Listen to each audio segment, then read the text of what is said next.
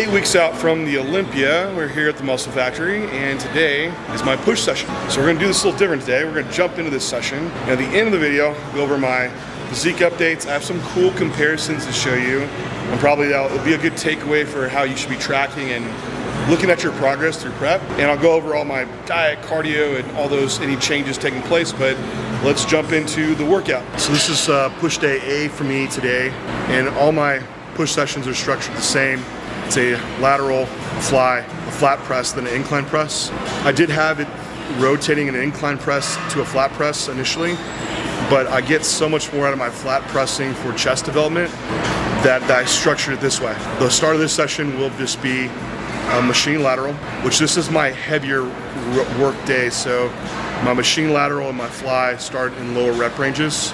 So I'll do a prime machine lateral on today and my second push day on leg day, I do the lateral, but I work in the 20 rep range. So today's session will be 8 to 12 reps. Still set this one up on a cam setting 5, so it loads more lengthen, which you get so much more out of your side delt work if you can load lengthen. However, on my leg day, I do keep it loaded on a cam setting um, 4, so it loads more short. Just I have one day that's high rep, load short, and I can get a really good mind muscle connection with that side lateral. And then it seems to carry over into my other days really well. So doing four sets here and staying in that 8 to 12 rep range.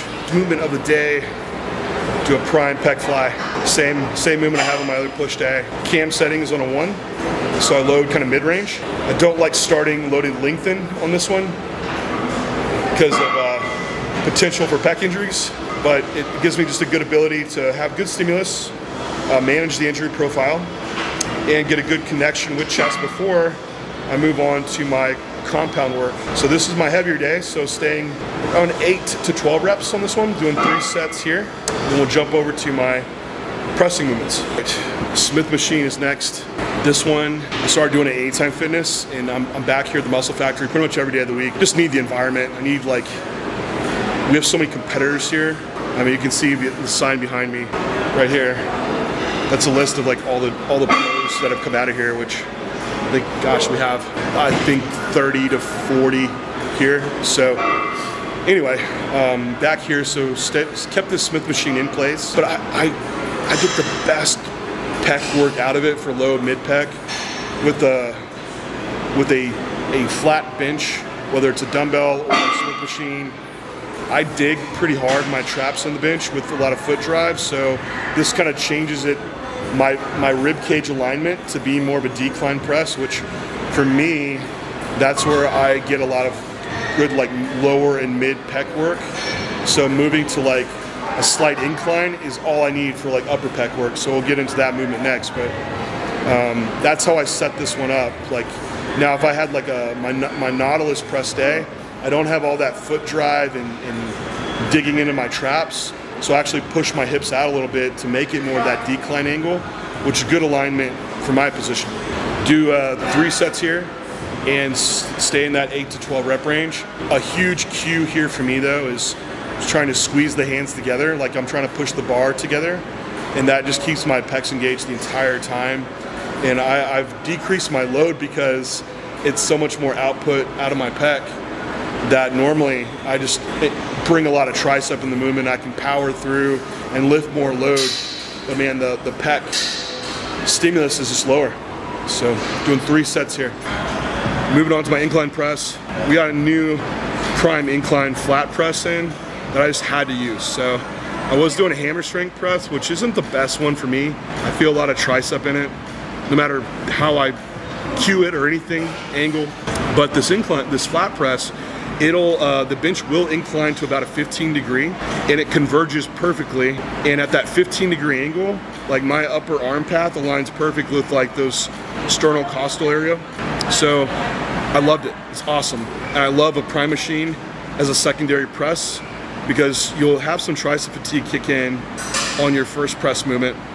So if I can load a movement to where it drops off in that shortened position when the triceps are having a hard time finishing that's ideal. I get a lot of stimulus per rep. I can keep those reps going and extend the set. When normally I hit a failure point and triceps is the, the first thing fatigue. So what I do, you'll see me load it, this be like two plates on that top peg, so I load heavy off the bottom at a lengthened position and only one plate in that middle peg. And that'll be the first set. Then after on the second set, to stay within the rep range and be able to keep outputting, I'll move to a 25 pound plate mid, mid peg, mid peg, keep the same up top. So then I now can keep the set going any further. So just two sets here, staying in this 8 to 12 rep range. All right, so moving into isolation work, well, one of them is a single arm crossbody tricep extension. So my other push day, I, I do a, just a normal cable push down. Also overhead. I can't do all overhead though. It'll end up beating up my elbow too much. So this cross-body path, it lengthens up the triceps some, but it works within my ability to externally rotate, so it's very elbow friendly for me. So just do three sets here for this extension. And once I get to my isolation work, I start going back and forth, um, doing compound sets with calf work. So I'll do a toe press today, and I rotate the calf work with doing high and low reps. So one day will be like uh, 8 to 12 reps, my other day will be 12 to 15 reps, so just rotating the rep range. But I love a toe press because there's no axial loading and you can just stay braced and just focus on calf work. It's like a donkey calf race, basically. Um, do four sets of calves, and I'll just go back and forth with this crossbody tricep extension. Three sets there. Last movement of the day, moving on to dips. So, not what you might not think would be an ideal movement for the end of the day, because it's kind of has a lot of bracing, but I'm so fatigued everywhere that I can do it just body weight. It's very easy to control my body weight. So I, I use this as uh, more of a tricep movement. I, I, stay in a very upright position and it, I get a huge stretch on the tricep as well. But it's also very elbow friendly. So just control this. I pause in the bottom, get a, a really um, good control out of that bottom lengthened position and then press up, basically trying to think about pushing my elbows through underneath my shoulder. And uh, you'll see on these, they're just like extremely controlled, like up and down. But at this point, body weight's plenty. So uh, load, loading's not much needed with like a weight belt or anything. And that uh, finishes off my session. i am gonna do abs on my pull session. I'll do them on today. It just depends how long the session's going and kind of where I'm at time-wise. But that'll wrap up the session. We'll head home, get a meal in, and we'll go over all the fun check-in visual updates that I told you about earlier. Back home from the gym. This is actually not my post-workout meal. This is meal four for the day. So eat my cream of rice on the way home. And this will be the meal I have about two hours later, which Renee got us some new, it's not a plate, it's not a bowl. It's actually a pasta dish on Amazon. It's like about a nine inch diameter, but man, these things are awesome. I love them. Uh, they're great in the microwave to keep your food hot. And it has a lip, so they're flat, right? I hate round plates because their food will like slide in the middle. You have nothing to like push up against to get the food out like a bowl. But then a bowl, you have like, you know, limitations with that of having your food spread out and like an even spread of like salt or whatever you're putting on. So this is my favorite eating dish now. However, this is like, this is prep food. So off season, I basically will need a casserole dish or something. but anyway, these were these were cool to get just off Amazon. So the plan, so check this out. Uh, currently at 2.37 in the morning, fasted. Look really tight in all the shots. Um, definitely have added some, some size already. And what I like to do during this phase, this long piece, and what you can do if you're running like a multiple show with a big gap is compare back to your previous prep picks. And so for one, you can see a comparison here of my uh, rear shot. And what I do is I look back through prep and find when I would have similar condition close to it and then compare those picks. And so this is between Toronto when I was three weeks out. And why I use Toronto is because I was still actively dieting down. In Vancouver, I was already lean, so I can't really count that. But Toronto, this was three weeks out versus current.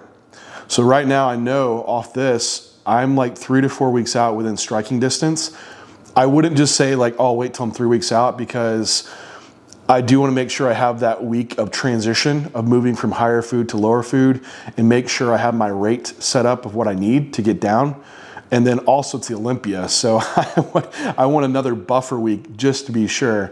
Um, and more time being ready is absolutely fine.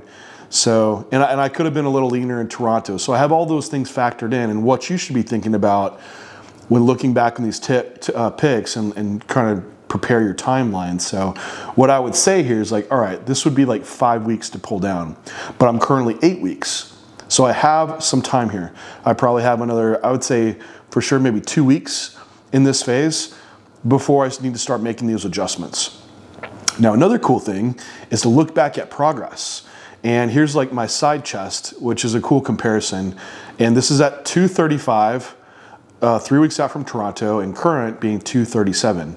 And you, you can vastly see like the thickness everywhere that's been added, um, especially in my side leg. And that's been a focus on my quad, but you can really see even the detail in my quad is, is improved just because I, it has that much more size to it. Um, of course, the upper body as well. So it's a great, like if you're looking to look at progress, of muscular wise is over months compare back at similar body fats and then you can look through your program and see if your training is lining up to improve the body parts that you need it to so i hope that helps like as far as gauging progress and when uh, for your hypertrophy program but also trying to trying to have uh, points of like assessing body fat of when you can push up and need to pull back for this situation when you're in multiple shows my current plan though, um, currently the diet hasn't changed this past week, so still six days a week of training, my train day diet, and I have it pulled up here. I track everything on Cronometer, which is a great app to use. Um, it scans barcodes well, and so I, I, tra I track everything. Um, but at uh, train days is 540 grams of, of carbs, uh, 320 grams of protein and 50 grams of fat. And that's counting everything, right? So trace, protein, um, all of it. So, uh, you know, I don't think you need a lot of protein. Like this meal is 120 grams of ch cooked chicken, and then I have uh, 60 grams of yogurt.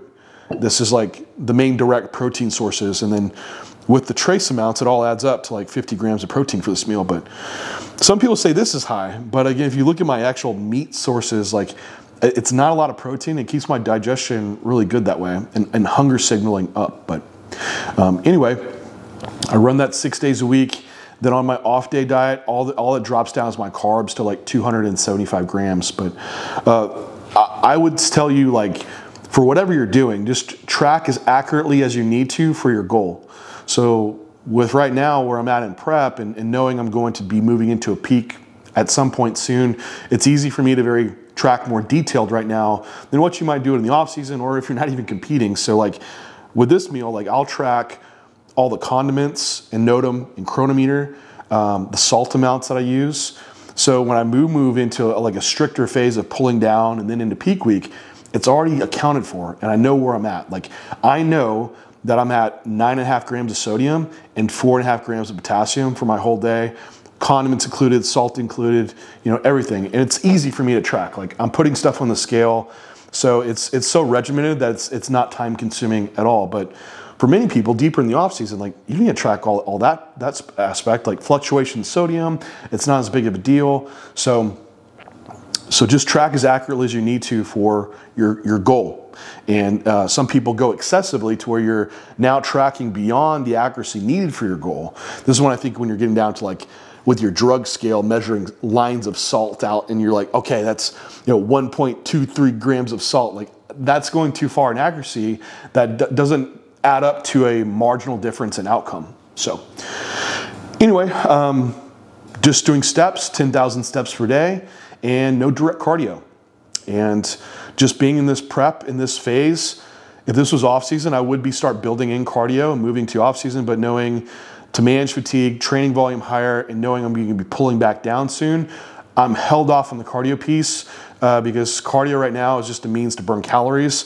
And I, I have to just also keep in mind like it's not the best for what I would want more for the heart health piece, but being that I'm lean, being that calories are lower, body fat's lower, the health piece is well in check with my lab work.